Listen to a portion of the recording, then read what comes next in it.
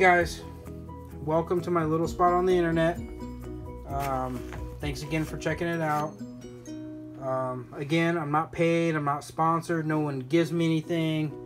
Um, but after watching reviews, trying to find a decent tent, um, after having probably six or seven cheap tents, I decided to go with the Gazelle T4. Um, after watching the same reviews you've probably all seen, um, I like the way it opened quickly. Um, I like the size, the space.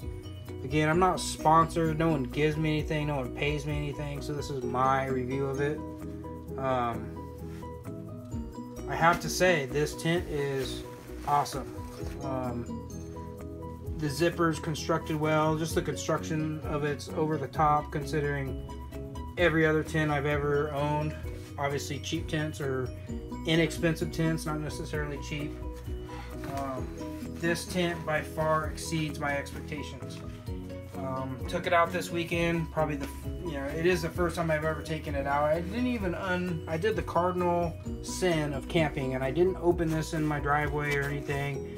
I just ran it. You know, I, I sent it and uh, showed up out there, opened it up, and I had it up within two minutes. It honestly took longer to stake it down than it did opening the tent. The stakes they give you, the the stakes that tent companies or whatever provide you are junk. Um, you either have to buy some expensive ones from REI or Dick's or any of these other companies, or what I do is I just make my own. I take a piece of rod, I bend some metal, I paint it up all nice, no one cares. These things work great, so I have a bunch of them laying around, so I use those. And honestly, 50 mile an hour winds um, is what we were dealing with this weekend out in the desert. Um, I did run one guy lie, line um, from the windy side down.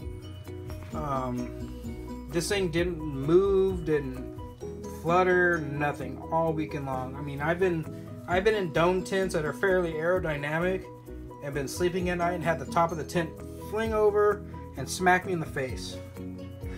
Know, in comparable winds. This thing did not budge, did not bat an eye. Um, solid, solid tent. Um, it held the heat in our tent very, very well. I may even need to go back and re address my little buddy heater. Um, I didn't use it in this tent um, this weekend. It only got down into the 40s, but I mean, it was hot enough where I had to peel my sleeping bag off because I was hot. Um, it definitely holds temperature and a lot better. So I may need to go up to the mountains or something and review this thing in colder weather and run that little buddy heater and see if I can take back some of the things I said in my little buddy heater review um, about tent use. Um, but other than that, I mean, great heater, um, great heat in the not great heater, great heat in the tent, great construction set up in less than two minutes. I mean, it was amazing not to have to deal with poles or anything like that. To me, I mean, the hardest thing is putting the rain fly on. Um, was probably the hardest part of this whole deal, which honestly is not that bad at all. Um, my only complaint is the packed up size. I mean, it's almost six feet, six feet long. Um, so it makes packaging it in my situation in a pre-runner a little more difficult. I made it happen. I took it out there. This will be the only tent I'll ever be using again unless something else comes up. But for now, this is my tent. This is my go-to. Um, I will deal with the packaging issues just to have that there and the setup being so easy.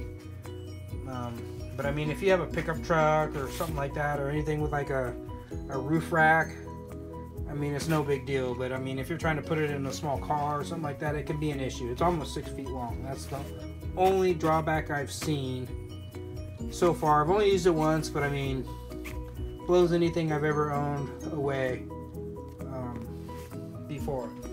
So, other than that, this weekend I did run into a little issue um, with my old Jackery 300. Um, you've, hopefully, you've seen my review on that. If not, um, go back and look at it, comment. Um, but I, there is an issue with the Jackery, so I want to get to that too and in the same review. Hey guys, so this is the issue I found this weekend with my Jackery. Uh, this is the 300. I absolutely love this unit. Like, look at the size of it compared to my hand. Um, I power so much stuff off this thing. Um, again, with everything else, I'm not sponsored. I don't get paid by anyone. I wish they would. Jackery pay me. I, I, I could care less. I mean, I would care a lot. Like, pay me, give me money. I would love that. Um, I use this product. I love this product. Um, so yeah, pay me. I'll say the same thing I'm saying now. But um, I bought this unit. I paired it with the old Solar Saga 60. Um, it was in my price range. Again, Jackery didn't give me any of this. They're not paying me for this, so I spent my money on it. And the 300 and the 60 were in my price range. Um, and then you can watch my other review on this thing um, to get all my other opinions. But the issue I found on it, um, we are out in the desert this weekend, obviously for an off-road race. 85 degrees, sunny, windy, definitely windy, gusts of 50 miles an hour, but unobstructed sun. And I was moving the solar panel, following uh, the sun around, and I was getting, I mean, shoot, I was getting almost 50 watts out of this 60, um, which to me amazed me. Um, I was getting lots of watts on it. Um, we were running everything: laptops, phones, uh, some LED lights at night, um, an electric blanket at night.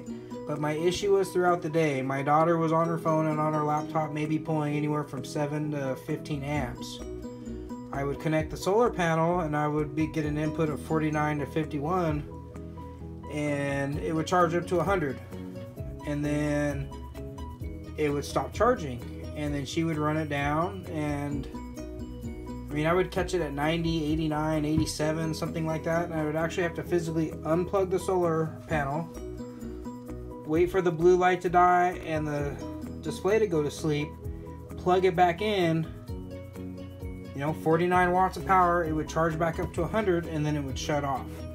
Um, i would really love it if this thing would stay at 100 if she's only using 7 to 12 watts and i'm getting 49 50 watts in it i would think that this thing would stay at 100% um, however it would reach 100 and then it would stop charging and then she would deplete it and i'd have to go through that whole cycle so i, I would have to keep on it finally at the end of the day i was tired of babysitting it.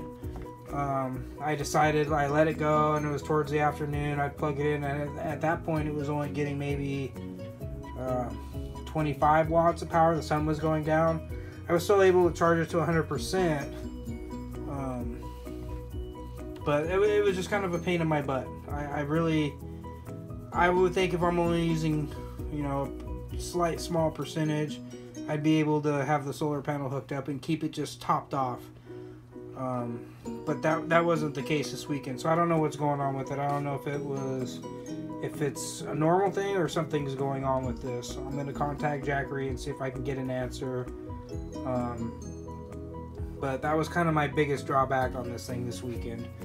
Um, it did run an electric blanket all night long.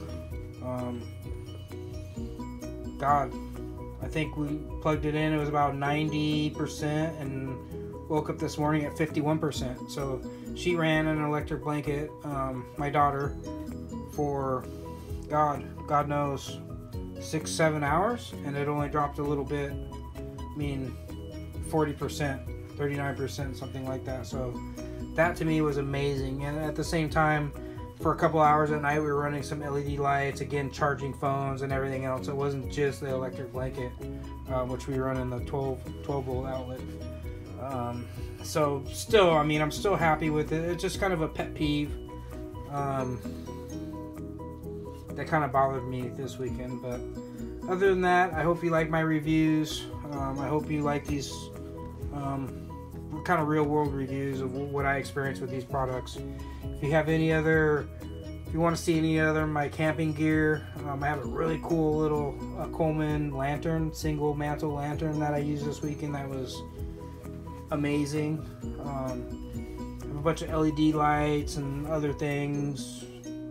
axes, hammers. Um, if you want to see stuff automotive related, camping related, uh, shoot me a comment. Let me know. Um, I'd be happy to show you uh, the rest of my stuff um, or anything automotive related or you know any of that stuff. So please like, comment, subscribe.